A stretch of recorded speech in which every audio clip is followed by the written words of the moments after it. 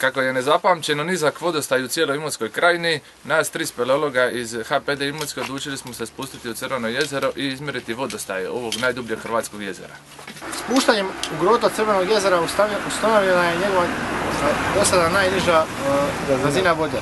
Ona iznosi oko 231 metar. Inače, vodostaj u ovom jezeru zna porasti do 300 metara, a sada je otprilike ovako tu.